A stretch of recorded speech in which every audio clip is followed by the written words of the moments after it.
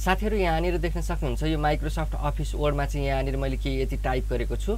यहाँनिर यो प्रत्येक हेडिङहरूको पछाडि मैले यसरी डट डट राख्नुपर्ने छ। र यो काम चाहिँ मैले प्रत्येकमा गर्नुपर्ने छ र यो पेजभरि छ अथवा यसरी गर्नुपर्ने धेरै छ। अब जस्तै यहाँनिर मैले यसलाई नै एकपटक कपी गरिदिन्छु जस्तै यसलाई एकपटक हटाएँ त्यसपछि यसलाई कपी गर्छु र त्यसपछि योभन्दा तलपट्टि यसरी पेस्ट गर्छु। यो पेजभरि बनाएँ मैले यसलाई। देख्न सक्नुहुन्छ? ठिक छ यहाँसम्म भयो।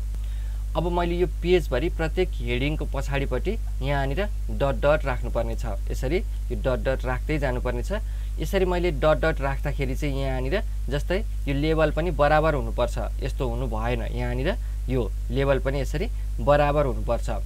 अब त्यस्तो अवस्थामा हामीले यो एकैपटक यहाँनिर ट्याब प्रेस गर्ने बित्तिकै यो डट डट आउने बनाउनु पऱ्यो माइक्रोसफ्ट अफिस वर्डमा चाहिँ डट डट राख्दाखेरि ट्याब प्रेस गर्ने बित्तिकै डट डट आउने बनाउनको लागि कसरी गर्ने यहाँनिर गरेर देखाउँछु। पहिला यसलाई मैले हटाइदिएँ।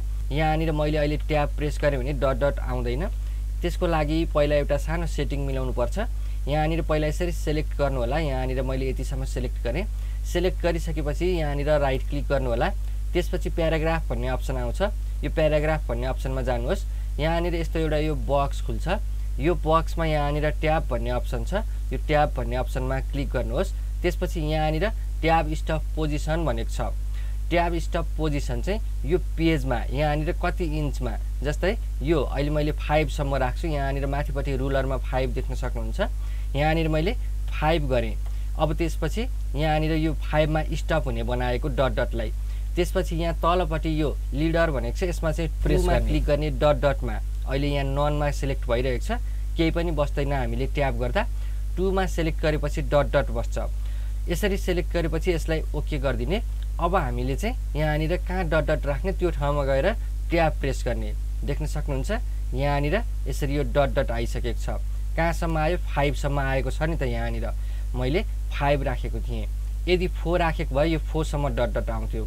जस्तै अब एड्रेसमा पनि यहाँनिर ट्याब प्रेस गरेपछि फाइभसम्मै आयो। फेरि यहाँनिर फादर नेममा फेरि ट्याब।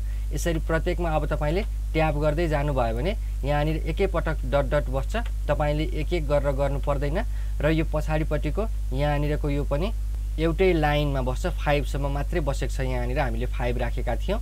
यस्तो किसिमबाट तपाईँहरूले यसरी गर्नुपर्ने कामहरू छ भने सजिलैसँग ट्याब प्रेस गरेर कहाँसम्म डट डट राख्नुपर्ने हो यसरी आफैले मिलाएर राख्न सक्नुहुन्छ र तपाईँले आफ्नो कामलाई छिट्टो तरिकाबाट गर्न सक्नुहुन्छ।